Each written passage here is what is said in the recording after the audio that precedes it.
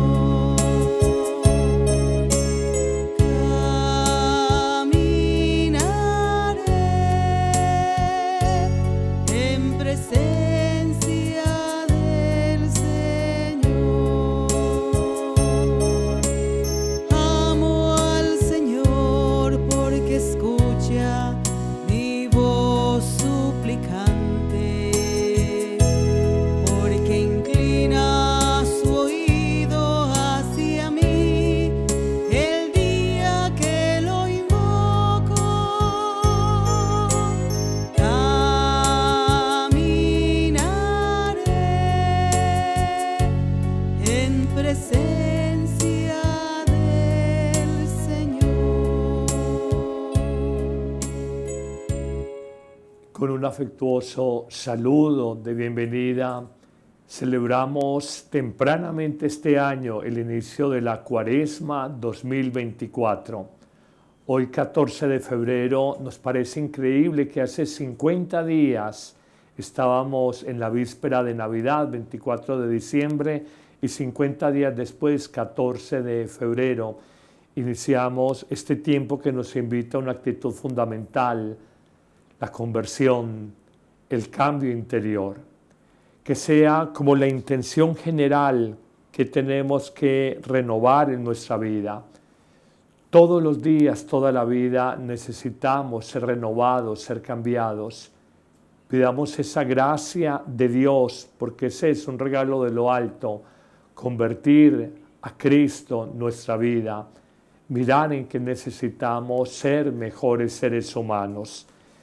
De manera particular vamos a orar por la salud de Inés Sofía Arias Vargas, el cumpleaños de Juan David Restrepo y el eterno descanso de Reinaldo Restrepo.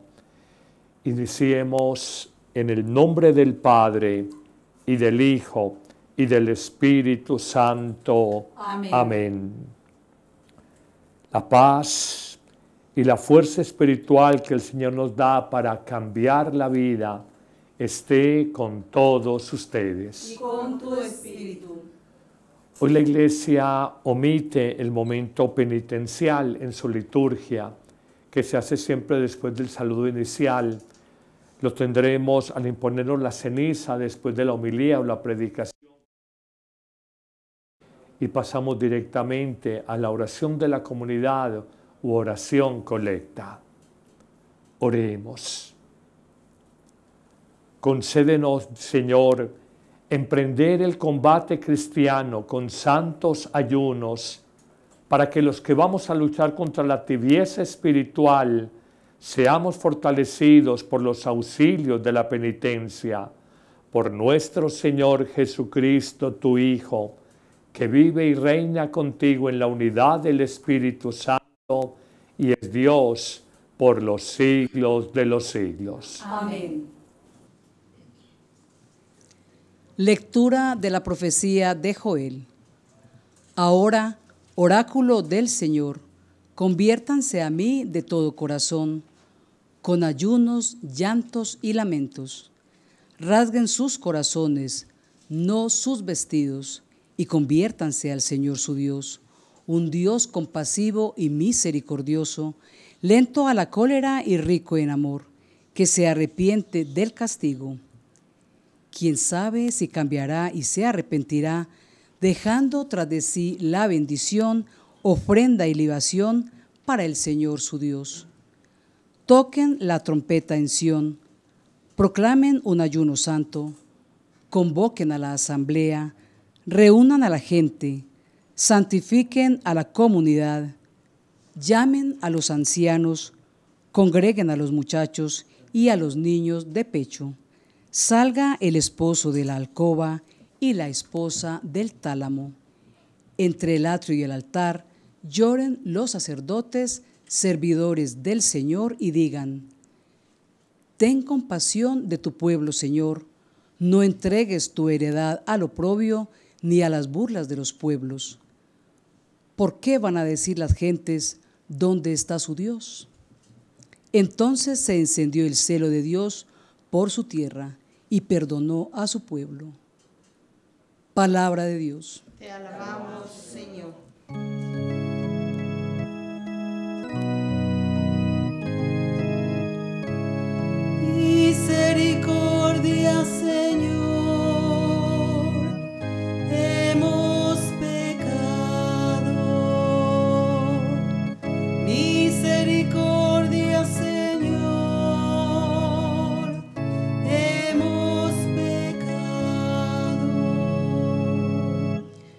Misericordia, Dios mío, por tu bondad, por tu inmensa compasión, borra mi culpa, lava del todo mi delito, limpia mi pecado. Misericordia, Señor. Hemos pecado. Pues yo reconozco mi culpa, tengo siempre presente mi pecado. Contra ti, contra ti solo pequé, cometí la maldad en tu presencia. Misericordia, Señor. Hemos pecado. Oh Dios, crea en mí un corazón puro. Renuévame por dentro con espíritu firme. No me arrojes lejos de tu rostro, no me quites tu santo espíritu.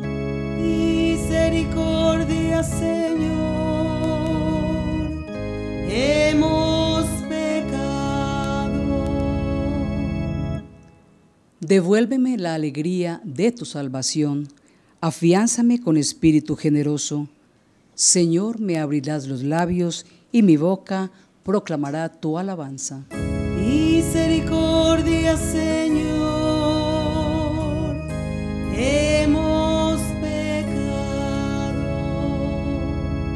Lectura de la segunda carta del apóstol San Pablo a los Corintios. Hermanos, actuamos como enviados de Cristo y es como si Dios mismo exhortara por medio de nosotros. En nombre de Cristo les pedimos que se reconcilien con Dios. Al que no conocía el pecado, lo hizo pecado en favor nuestro, para que nosotros llegáramos a ser justicia de Dios en él y como cooperadores suyos los exhortamos a no echar en saco roto la gracia de Dios. Pues dice, en el tiempo favorable te escuché, en el día de la salvación te ayudé. Pues miren, ahora es el tiempo favorable, ahora es el día de la salvación. Palabra de Dios. Te alabamos, Señor. Honor a ti, Rey de eterna gloria. Honor a ti,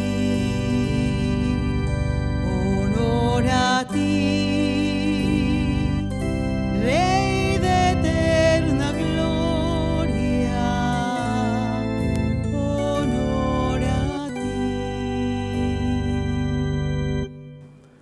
El Señor esté con ustedes. Con tu espíritu. Proclamación del Santo Evangelio según San Mateo. Gloria a ti, Señor. Por la señal de la Santa Cruz, de nuestros enemigos, líbranos, Señor, Dios nuestro. En aquel tiempo dijo Jesús a sus discípulos, y sintamos que al iniciar esta cuaresma 2024 nos lo dice a cada uno de nosotros. Cuiden de no practicar su justicia delante de los hombres para ser vistos por ellos. De lo contrario no tendrán recompensa de su Padre Celestial. Por tanto, cuando hagas limosna, no mandes tocar la trompeta ante ti como hacen los hipócritas en las sinagogas y por las calles para ser honrados por la gente. En verdad les digo que ya han recibido su recompensa. Tú, en cambio, cuando des limosna que no sepa tu mano izquierda lo que hace tu mano derecha, así tu limosna quedará en secreto y tu Padre que ve en lo secreto te lo recompensará. Cuando oren, no sean como los hipócritas a quienes les gusta orar de pie en las sinagogas y en las esquinas de las plazas para que los vean los hombres. En verdad les digo que ya han recibido su recompensa. Tú, en cambio, cuando ores, entra en tu cuarto, cierra la puerta y ora a tu Padre que está en lo secreto y tu Padre que ve en lo secreto te lo recompensará. Cuando ayunen, no pongan cara triste como los hipócritas que desfiguran su rostro para hacer ver a los hombres que están ayunando. En verdad les digo que ya han recibido su recompensa. Tú, en cambio, cuando ayunes, perfúmate la cabeza y lávate la cara para que tu ayuno lo note no los hombres, sino tu Padre que está en lo escondido, y tu Padre que ve en lo escondido te recompensará. Palabra del Señor. Gloria a ti, Señor Jesús. Iniciamos una nueva cuaresma con este miércoles de ceniza un tiempo de gracia, cuaresma, 40, 40 días que se van hasta Semana Santa y nos disponemos, preparamos el corazón para vivir de la mejor manera esa Pascua, ese paso del Señor por nuestra vida. Siempre en un texto clásico de Mateo capítulo 6 nos habla Jesús de las tres actitudes del judío piadoso, pero podríamos decir también del hombre del, del siglo XXI religioso. Y atiende estas tres actitudes a tres relaciones esenciales que tenemos en la vida. Una primera relación esencial con nosotros mismos. Una segunda relación esencial con los demás, con nuestro prójimo y una tercera relación esencial con Dios. Y Jesús con gran sabiduría y atendiendo también la espiritualidad judía, nos dice que para cada una de estas relaciones esenciales conmigo mismo, con los demás y con Dios, hay como unas actitudes o comportamientos religiosos. El primero nos señala el ayuno, el ayuno. Eh, frente a nosotros mismos ayunar, eh, entiéndame de esta manera, la relación esencial conmigo mismo no es dejarme desbordar por los deseos, por la gula si se quiere, por los apetitos de la carne, a veces desordenados. Nos pide autodominio y el ayuno nos ayuda a esa disciplina, autodisciplina o repito, autodominio.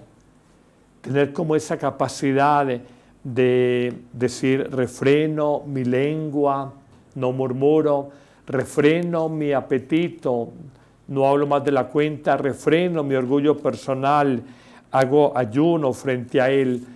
Se ha llamado la virtud eh, cardinal de la templanza, el autodominio. Pero hay una segunda relación esencial en la vida del ser humano, ya no es consigo mismo, autodominarse, ayunar de pasiones dominantes. Hay una segunda relación con los demás. Y nos pide Jesús, como manda la espiritualidad y la religiosidad de los judíos, que esa relación con los demás se dé a partir de la limosna, pero me gusta más esta expresión a partir de la misericordia, a partir de la caridad, a partir de la compasión. Jesús nos pide que nuestra relación con los otros esté matizada, esté mediada por la misericordia. Misericordia no es alcahuetería, misericordia también es exigencia. De hecho, un papá o una mamá le exigen a sus hijos, los confrontan, porque siendo misericordiosos con su camino equivocado, también les hablan fuerte y lo tienen que hacer porque a quien Dios ama misericordiosamente lo corrige, lo pule, lo exhorta. Esto es muy bonito. Entonces la primera relación esencial es el autodominio por el ayuno conmigo mismo. La segunda relación esencial con los demás por la generosidad, la caridad, la, eh, la limosna, la compasión frente a los demás. Y hay una tercera relación esencial en la vida, ya no es interna conmigo mismo, ya no es horizontal con los demás, sino que es vertical con Dios. Y nos pide mantengamos viva esa relación con Dios por la oración, por la plegaria, entiéndase, por la comunicación amorosa con el buen Dios, la comunicación amorosa con el buen Dios. Y todo esto nos dice el Evangelio de hoy que se haga con discreción, no por alarde, no por vanidad, no por presumir, no por ostentación, nos dice tanto el ayuno, dominarnos a nosotros mismos, la caridad o generosidad con los demás y la oración con Dios, hazlo discretamente, no para presumir frente a los demás, ostentar frente a los otros, sino de una manera tal que solo tu Padre de los cielos, que ve lo escondido y lo profundo de tu corazón, lo conozca, y tu Padre de los cielos que sabe que no lo haces por el aplauso humano, sino de cara a Dios, Él te lo va a recompensar, porque cuando te aplauden los hombres, ya no te aplaude Dios. Cuando te reconocen los hombres, ya no te reconoce Dios, y cuando te agradecen los hombres, ya no te agradece Dios, porque ya has tenido tu pago y tu recompensa. Lo digo muy a propósito de que todos los seres humanos somos muy permeables vanidosamente al reconocimiento de los demás. Yo recuerdo empezando en el mundo digital, uno sentía cierto agrado en sentirse célebre y los años me han mostrado qué es la fama. La fama es el mayor engaño, porque tener algo de fama es tener mucho trabajo pastoral, perder vida privada y despertar celos y envidias sin necesidad. Eso es la fama, no es otra cosa. Pero todas estas tres actitudes, el ayuno, la caridad, la generosidad, la limosna y la oración, en la relación conmigo mismo, con los demás y con Dios, ¿a qué apuntan? Y yo les diré, apuntan a una actitud fundamental en la que hoy quiero centrarme, apuntan a la conversión del corazón. Todos estos 40 días, hasta empezar Semana Santa, eh, queremos y pedimos al Señor de la mano de la palabra, la palabra bíblica que nos va a presentar cada día en la liturgia, de mano de una confesión bien hecha en esta cuaresma, con arrepentimiento, de la mano de la Eucaristía frecuente y de la mano de un revisarme en espíritu orante, mi vida quiere convertirnos. Padre Carlos, ¿qué es la conversión? Dígalo de una manera muy sencilla.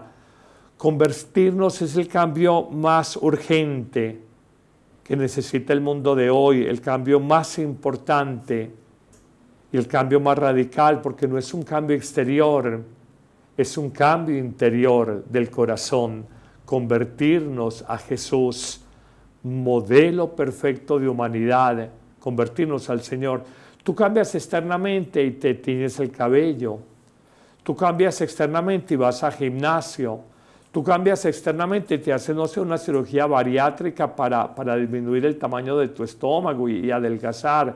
Tú cambias de carro, tú cambias de apartamento. Son cambios estéticos. son cambios externos, son cambios cosméticos, no cambian mucho la vida. El cambio más importante, y te lo digo mirándote aquí en esta cámara que la tengo tan cerca, el cambio más importante en la vida y el que a veces nunca reconocemos es el cambio de nuestro ser interior, de nuestro ser interior. Esto nos tiene que poner a pensar y te voy a lanzar una frase que es una carga de profundidad, como una explosión. Te lanzo esta frase. Muchos hablan de la necesidad de cambiar el mundo. Pocos hablan de la necesidad de cambiar ellos mismos. Todos tenemos las fórmulas en la economía, en la política, en la sociología, todos damos criterios. Es que el mundo, los gobernantes, los políticos deberían de ser de tal o cual manera. Nos encanta diagnosticar cómo debe cambiar el mundo, pero poco nos diagnosticamos que debemos de cambiar en nosotros mismos, olvidando que el cambio del mundo empieza por el cambio personal. Y te agregaría algo con realismo, yo no puedo cambiar el mundo, yo no puedo cambiar la realidad de África, de Asia, de Europa, pero sí puedo cambiar mi mundo, que es quien, tu vida, y la de tres o cuatro personas que conviven contigo, porque si tú mejoras tu actitud, tu relación con esas personas, vas a cambiar tu pequeño mundo, entiéndase tu familia. Hasta ahí va el cambio de las personas. Padre, interesante todo esto que dice, pero profundice en esto de la conversión, que es como el centro de este miércoles de ceniza, el centro de 40 días de la cuaresma y el centro de lo que es la Pascua, el paso del Señor por nuestra vida en Semana Santa. Yo te quiero lanzar siete máximas, si quieres siete frases, si quieres siete sabidurías que nos puedan servir para la vida. Las he escrito aquí en un papelito, aquí me lo ven, mírenme, el padre es como la época del colegio, hasta con, colores y todo, los tengo ahí con resaltador. Siete máximas, trata de guardarlas en tu corazón y pide al Espíritu Santo para que la, nos apropiemos si en verdad queremos cambiar en la vida. Primera máxima, iniciar en la tarea de la conversión del corazón a Cristo, de parecernos más a Cristo, iniciar en la tarea de la conversión es de todos o es de muchos. Perseverar en la conversión es de pocos. Terminar la vida buscando la conversión es solo de los santos. Repito la frase, iniciar esa búsqueda, oh, la gente se impone la ceniza, lo vamos a hacer enseguida, quiero cambiar, iniciar en el camino de la conversión es de muchos, perseverar es de pocos, terminar la vida en el camino de la conversión es de hombres y mujeres santos y santas. Esto necesita una palabra mágica, paciencia, paz, ciencia, la ciencia de la paz, conservar la paz, cuando siento mi incapacidad para cambiar. Y es una tarea paciente la conversión de todos los días, toda la vida. Te lo repito, la conversión es una tarea paciente de todos los días, toda la vida. Uno morirá buscando el rostro de Jesús, asemejarse a Él esta humanidad orgullosa, rabiosa, ambiciosa, codiciosa, eh, envidiosa y todas las cosas que quieran, eso nos acompaña. Segunda máxima, vigilancia, vigilancia.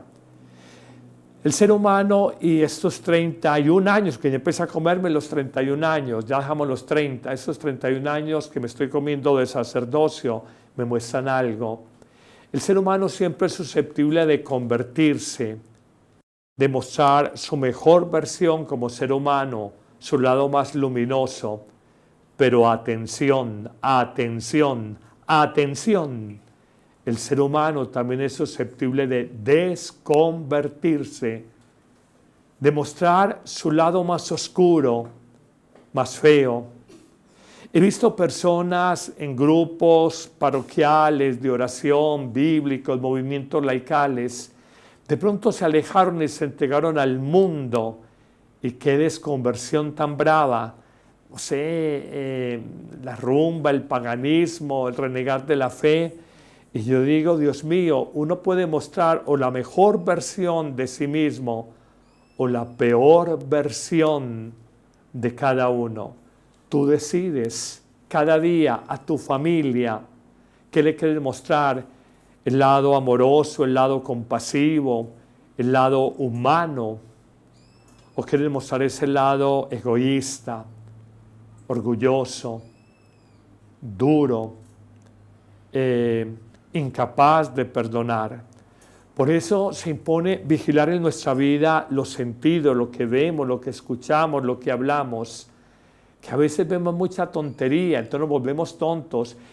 Leemos, escuchamos y leemos muchas bobadas, entonces nos volvemos bobos. Si uno lee bobadas, se vuelve bobo. Si uno lee cosas espirituales, se vuelve espiritual. Si lee filosofía, se vuelve filósofo. Si lee psicología, se vuelve psicólogo. ¿Qué lees? ¿Qué ves? cuidar sobre esos sentidos, cuida sobre tus deseos, que a veces son engañosos y son esclavitudes en el ser humano. Cuida sobre esa imaginación loca que a veces trabaja mucho en nosotros para que haya conversión y no desconversión en tu vida.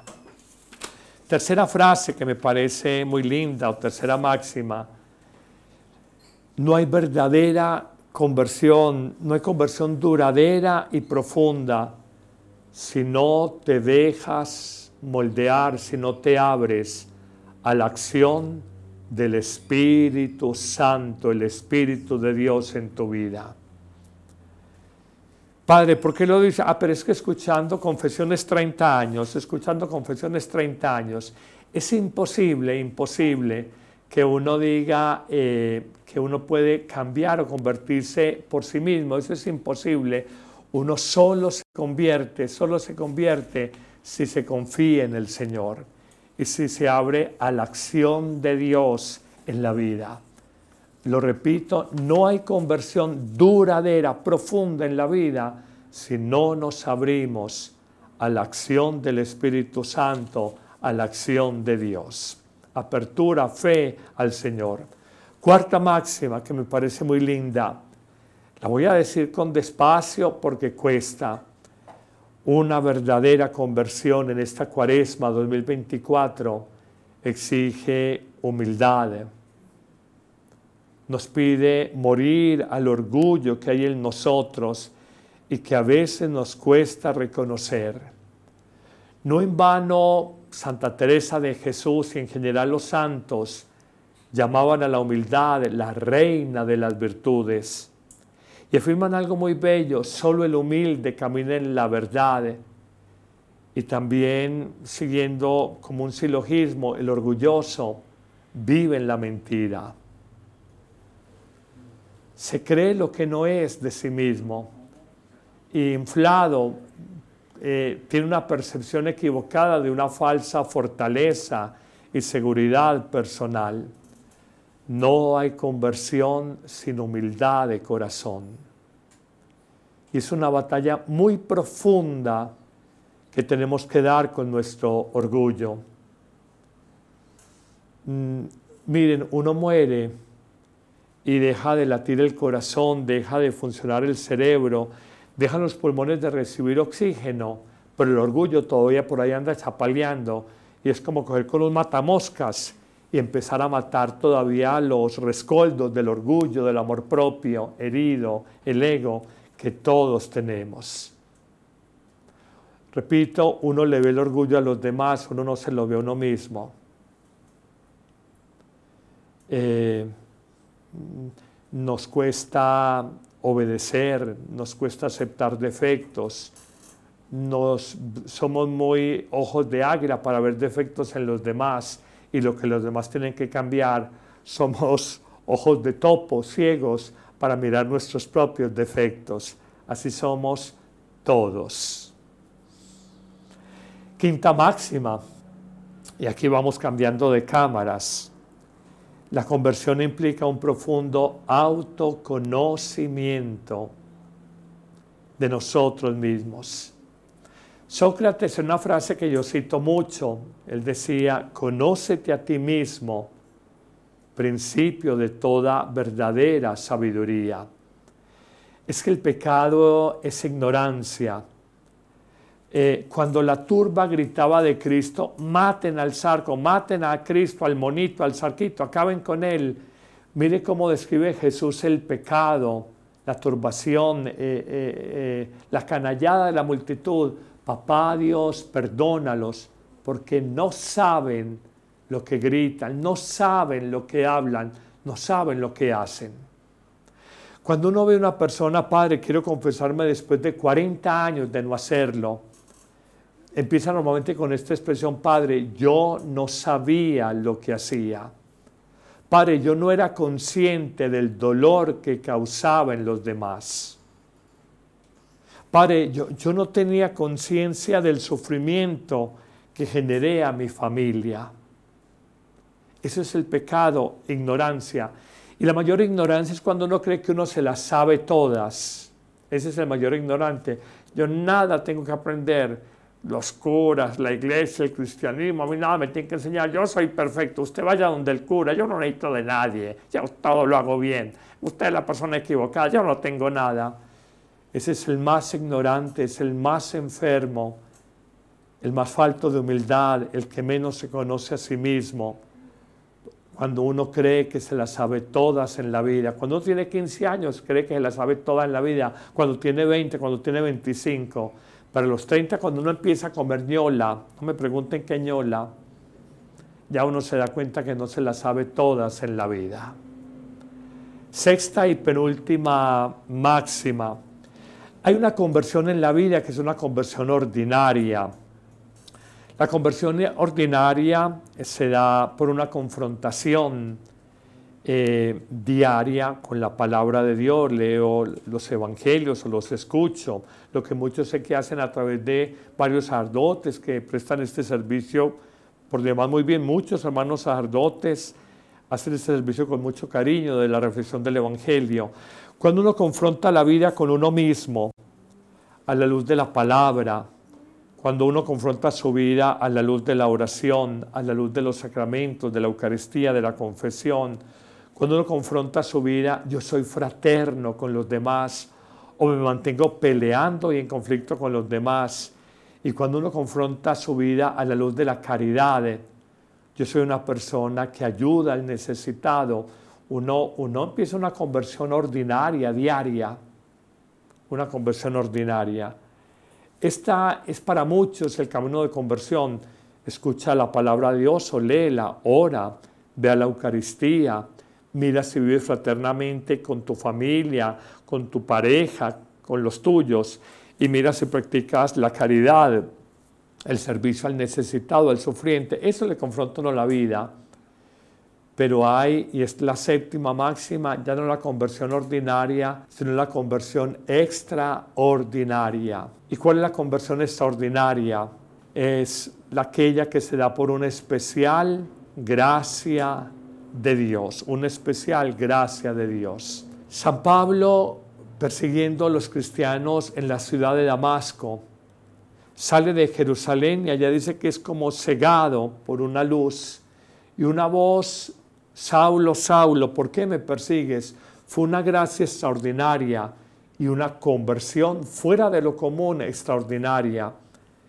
Pero nosotros tal vez no vimos esto de San Pablo, de que oigas esta expresión, Carlos, Carlos, ¿por qué me persigues? Lucía, Lucía, ¿por qué me persigues? Álvaro, Álvaro, ¿por qué me persigues? Estela, Estela, ¿por qué me persigues? No oímos esa voz, pero si hay algo muy especial y es que cuando hay pruebas supremas en la vida, sufrimientos que ponen al límite nuestra capacidad de resistencia, cuando uno dice, no voy a poder con esto, esto es mucho dolor, esto es mucha pena, cuando ese dolor quebranta o nos mueve el piso, decimos nosotros, nos deja sin seguridades, las seguridades del mundo aparentes, económicas, afectivas, sociales. Uno se ve sin piso, uno ahí de manera extraordinaria busca a Dios. porque ni tu dinero, ni tus amistades, ni aquella persona en la que confiabas tanto te puede ayudar. Puede que hasta quiera, pero no puede ayudarte. Y coloco ejemplos de sufrimientos supremos en la vida, una enfermedad incapacitante o terminal, una persecución laboral eh, o pública, una situación de desempleo, de quiebra económica, una cárcel de manera justa o injusta, una pérdida de la libertad, un divorcio, separación conyugal, un duelo por la muerte de un ser querido, un secuestro, son situaciones típicas que han llevado a muchas personas en ese dolor profundo a quitarle las aparentes seguridades humanas y materiales, a doblarle su soberbia y a buscar solo de Dios. Esa es una forma extraordinaria de la conversión, una gracia especialísima como la de San Pablo o un dolor supremo, una circunstancia de adversidad y de cruz con la que nosotros nunca imaginamos que íbamos a cargar. Siete máximas, las repito brevemente, iniciar en la conversión es de todos o de muchos, perseverar es de pocos, terminar es de santos. Vigilancia, porque uno puede convertirse o desconvertirse en la vida. Apertura a Dios, porque la conversión es solo acción del Espíritu Santo en nosotros. Mucha humildad, porque el orgullo es el gran obstáculo para convertirnos. Profundo autoconocimiento, porque el pecado es ignorancia sobre nosotros mismos y somos tontos creyendo que nos la sabemos todos. Una conversión ordinaria porque leemos la palabra, oramos, vamos a Eucaristía, confrontamos nuestra vida fraterna y de caridad, o una conversión extraordinaria, una gracia única de Dios o un sufrimiento altísimo que nos desacomodó, nos sacó de la zona de confort y nos hizo mirar la vida de otra manera. Qué hermosa está Cuaresma 2024 que hoy iniciamos. Pedimos al Señor, como dirán en los cantos de estos días, Perdona a tu pueblo, Señor, perdona a tu pueblo. Míranos con misericordia y danos la gracia de una verdadera conversión. Amén.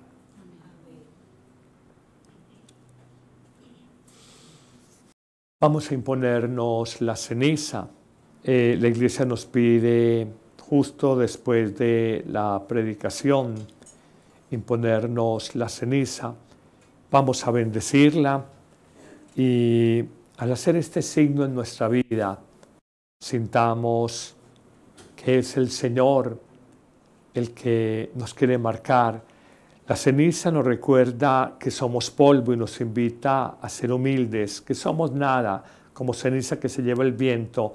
Dos, la cruz, el signo distintivo por el que Cristo nos salvó y la palabra convierte, te cree en el Evangelio, la predicación de hoy, la conversión que está en el eje de toda la cuaresma. Vamos a empezar haciendo la bendición de esta santa ceniza. Amados hermanos, imploremos a Dios, nuestro Padre, se digne bendecir con la abundancia de su gracia esta ceniza que vamos a imponer sobre nuestra cabeza en señal de penitencia Normalmente los judíos se imponen la ceniza aquí en la coronilla de la cabeza. Nosotros los cristianos lo hacemos de una manera más visible eh, sobre la frente, porque la gente normalmente por el cabello no queda como un signo visible y lo hacemos en la frente. Vamos a bendecirla. Oh Dios, que te apiadas de quienes se humillan y encuentras sagrado en quienes expían sus pecados. Escucha benignamente nuestras súplicas y derrama la gracia de tu bendición sobre esta ceniza y estos siervos tuyos que van a recibir la ceniza, para que fieles a las prácticas cuaresmales lleguen a celebrar con un corazón puro el misterio pascual de tu Hijo, que vive y reina por los siglos de los siglos. Amén. Amén. Voy a empezar con Ligia, que nos acompaña siempre en el servicio de la proclamación de la palabra ella se va a acercar, yo le impongo la ceniza, ella luego me la impondrá a mí y luego pasaré a imponerles a quienes están detrás de las cámaras de televisión. Que sea un distintivo y que sientas este compromiso de renovar tu vida. Ligia, conviértete y cree en el Evangelio. Ahora tú me la vas a imponer. Padre, conviértete y cree en el Evangelio. Nuestro Padre.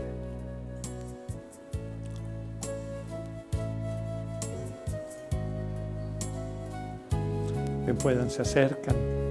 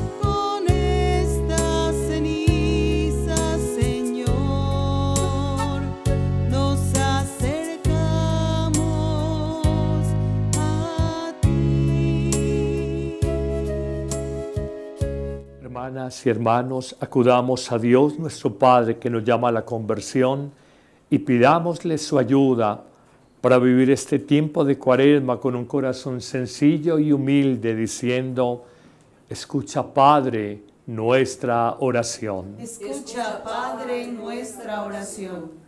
por la Santa Iglesia de Dios, para que persevere en el anuncio del reino, llamando a todas las personas a la conversión y a la nueva vida en el Espíritu, oremos. Escucha Padre nuestra oración.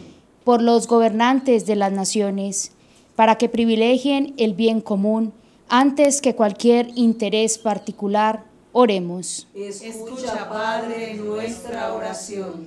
por el Banco Arquidiocesano de Alimentos, para que a ejemplo de Cristo sacien el hambre de nuestros hermanos y les conduzcan por su testimonio al deseo de pan de vida, oremos. Escucha Padre nuestra oración. Por los formadores de los seminarios de nuestra arquidiócesis, para que la sabiduría de Cristo les ilumine en la tarea a ellos encomendada, oremos. Escucha Padre nuestra oración. por todos nosotros, para que asumamos con convicción el ejercicio de las prácticas cuaresmales como camino seguro que nos conduce hacia la Pascua, oremos. Escucha Padre nuestra oración.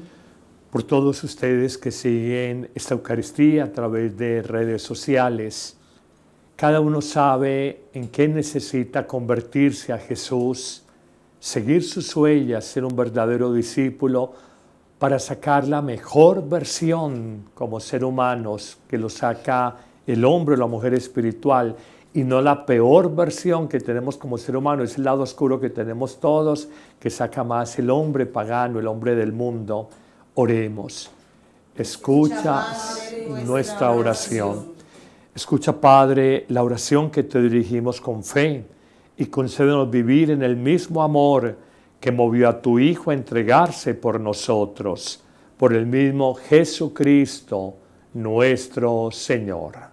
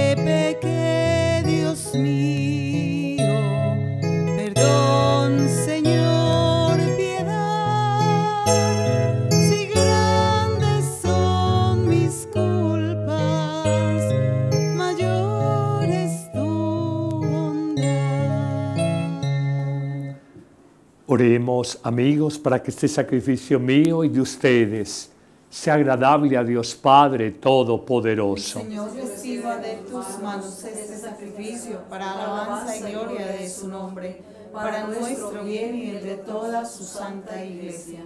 Te ofrecemos, Señor, este sacrificio con el cual iniciamos solemnemente el tiempo de Cuaresma, para que por la práctica de la penitencia y de las obras de caridad podamos reprimir nuestras pasiones desordenadas y limpios de pecado, merezcamos celebrar con fervor el misterio de la pasión de tu Hijo, que vive y reina por los siglos de los siglos. Amén. Amén. El Señor esté con ustedes. Con tu espíritu Levantemos el corazón. lo tenemos levantado hacia el Señor. Demos gracias al Señor nuestro Dios. Necesario. En verdad es justo y necesario, es nuestro deber y salvación, darte gracias siempre y en todo lugar, Señor Padre Santo, Dios Todopoderoso y Eterno, porque quisiste que a nosotros, pecadores, nuestras privaciones voluntarias nos libraran del orgullo, nos sirvieran de acción de gracias y nos hicieran imitadores de tu bondad al entregarlas para alimento de los pobres. Por eso con todos los ángeles te glorificamos a una voz y proclamamos tu alabanza cantando. Santo,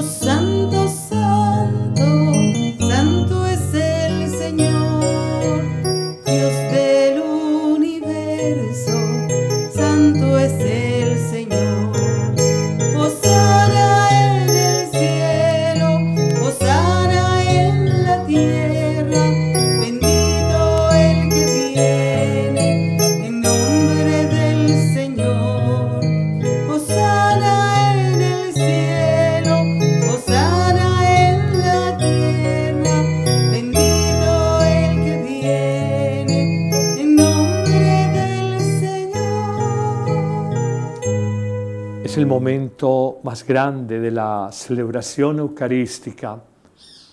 Que el Señor nos ilumine en qué tenemos que cambiar, que a veces en eso patinamos mucho porque pensamos que todo lo hacemos bien, que Él nos dé esa humildad, esa sabiduría, ese autoconocimiento, que tenemos que cambiar cada uno, no pensemos en los demás, yo que tengo que cambiar en mi vida. Santo eres en verdad, Padre, y con razón te alaban todas tus criaturas, ya que por Jesucristo tu Hijo, Señor nuestro, con la fuerza del Espíritu Santo, das vida, santificas todo y congregas a tu pueblo sin cesar, para que ofrezca en tu honor un sacrificio sin mancha, desde donde sale el sol hasta el ocaso.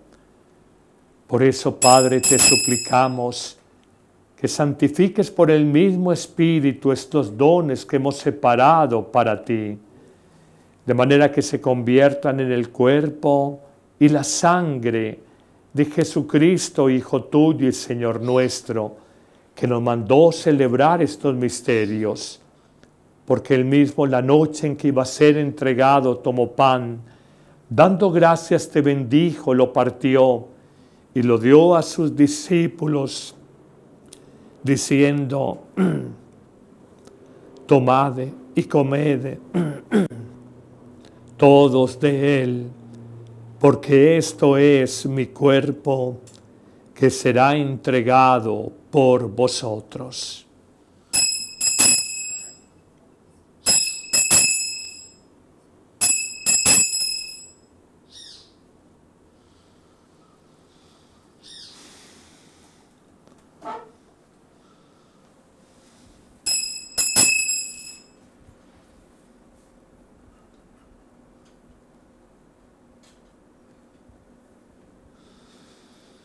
De mismo modo, acabada la cena, tomó el cáliz y lo dio a sus amigos y les dijo, tomad y bebed todos de él, porque este es el cáliz de mi sangre, sangre de la alianza nueva y eterna, que será derramada por vosotros y por muchos para el perdón de los pecados haced esto en conmemoración mía.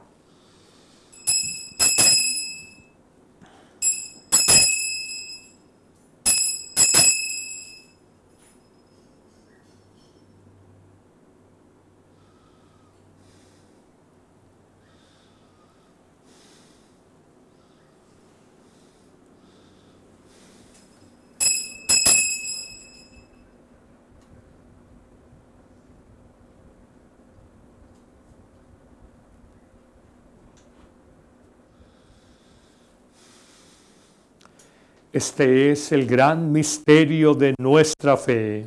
Anunciamos tu muerte, proclamamos tu resurrección. Ven, Señor Jesús. Así pues, Padre Dios, al celebrar ahora el memorial de la pasión salvadora de tu Hijo, de su admirable resurrección y ascensión al cielo, mientras esperamos su venida gloriosa, te ofrecemos en esta acción de gracias el sacrificio vivo y santo.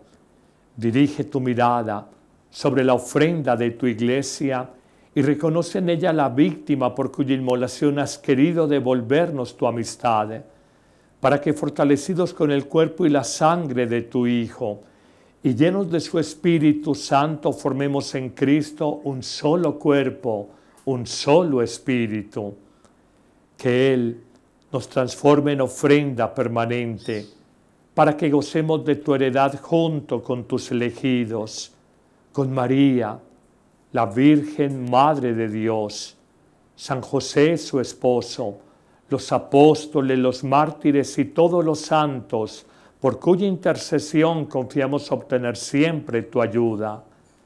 Te pedimos, Padre, que esta víctima de reconciliación traiga la paz y la salvación al mundo entero. Confirma en la fe y en la caridad a tu iglesia peregrina en la tierra, a tu servidor, el Papa Francisco, a nuestro obispo Ricardo, al orden episcopal, a los presbíteros y diáconos y a todo el pueblo redimido por ti Atiende los deseos de esta familia que has congregado en tu presencia.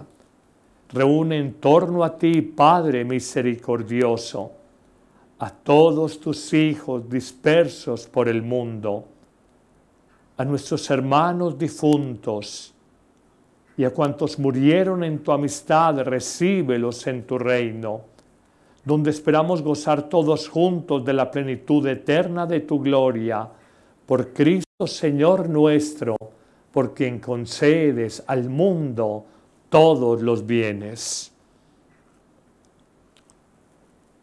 Por Cristo, con Él y en Él, a ti Dios Padre omnipotente, en la unidad del Espíritu Santo, todo honor, toda gloria por los siglos de los siglos. Amén. Amén. Es la oración universal, la oración más perfecta que ha enseñado el mismo Hijo de Dios, con fe, sin rutina, con el corazón primero y luego con los labios, oremos. Padre nuestro que estás en el cielo, santificado sea tu nombre. Venga a nosotros tu reino, hágase tu voluntad en la tierra como en el cielo. Danos hoy nuestro pan de cada día, perdona nuestras ofensas, como también nosotros perdonamos a los que nos ofenden.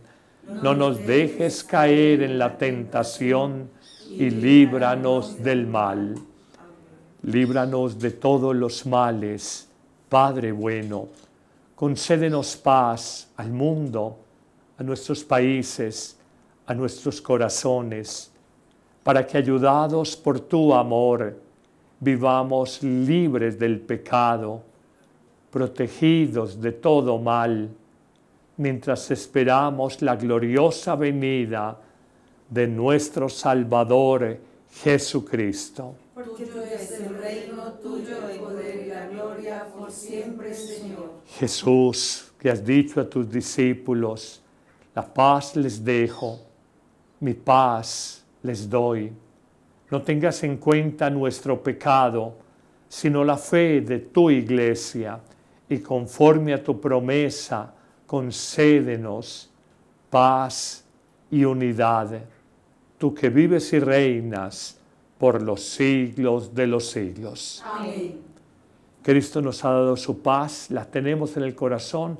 Ahora como hermanos, compartamos unos con otros un saludo de paz. Oh Cordero de Dios que te por nuestros pecados.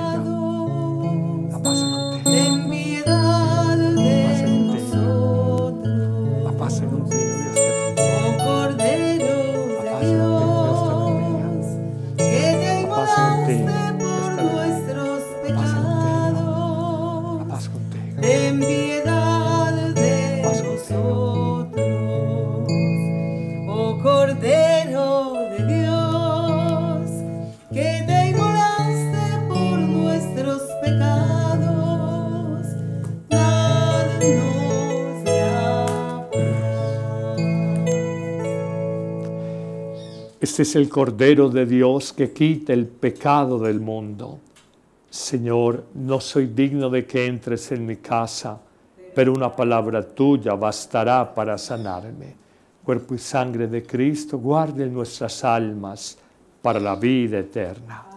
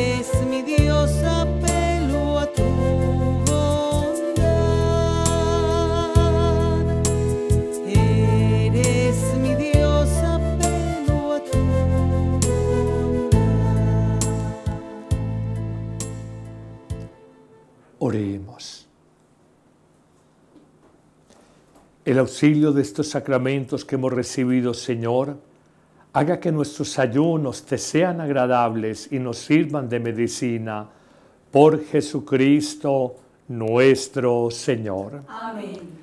Al iniciar este tiempo solemne de la Cuaresma 2024, la Iglesia nos entrega en cualquiera de estos días una bendición especial, que sea la posibilidad de convertir en la vida lo que necesita ser convertido. Quizás sea la última cuaresma de tu vida.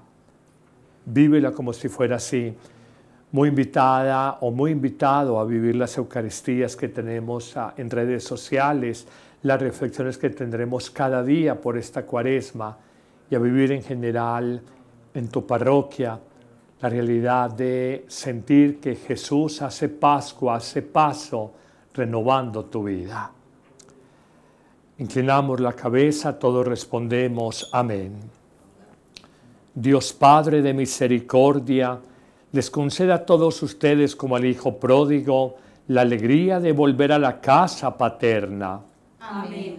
Cristo modelo de oración y de vida, los guía a la auténtica conversión del corazón a través del camino de la cuaresma que hoy iniciamos. Amén. El espíritu de sabiduría y de fortaleza los sostenga en la lucha contra el maligno para que puedan celebrar con Cristo la victoria pascual. Amén. Y la bendición de Dios Todopoderoso, Padre, Hijo, Espíritu Santo, descienda sobre ustedes y les acompañe en este miércoles de ceniza y siempre. Amén.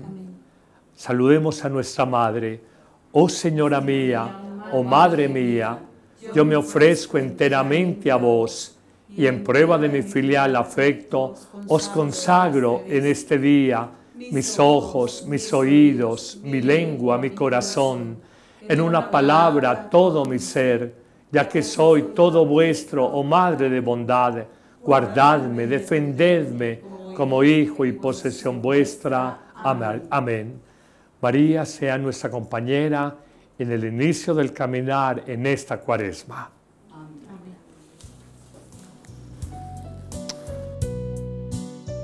Dulce mirada, gran corazón, simple y callada, te hizo el Señor, entregada a la oración, fiel y sencilla.